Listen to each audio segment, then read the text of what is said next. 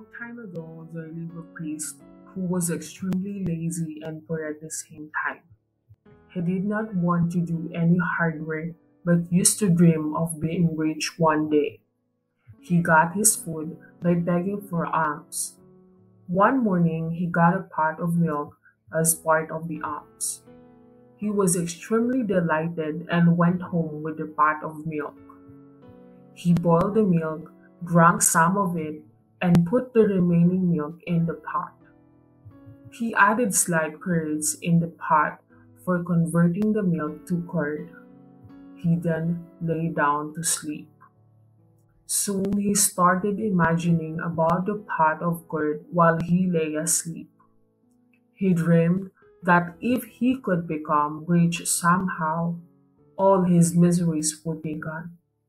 His thoughts turned to the pot of milk he had set to form curd.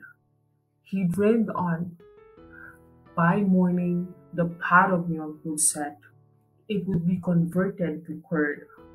I would churn the curd and make butter from it. I would heat the butter and make ghee out of it. I would then go to that market and sell that ghee and make some money. With that money, I will buy a hen. The hen will lay many eggs, which will hatch and there will be many chicken. This chicken will in turn lay hundreds of eggs and I will soon have a poultry farm of my own. He kept on imagining. I will sell all the hens of my poultry and buy some cows and open a milk dairy.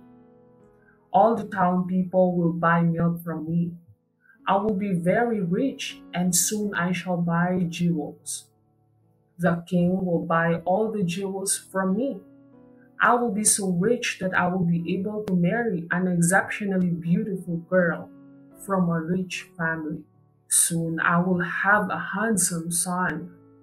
If he does any mischief, I will be very angry. And to teach him a lesson, I will hit him with a big stick. During this dream, he involuntarily picked up the stick next to his bed and thinking that he was beating his son, raised that stick and hit the pot. The pot of milk broke and he awoke from his daydream. There is no substitute for hard work. Dreams cannot be fulfilled without hard work.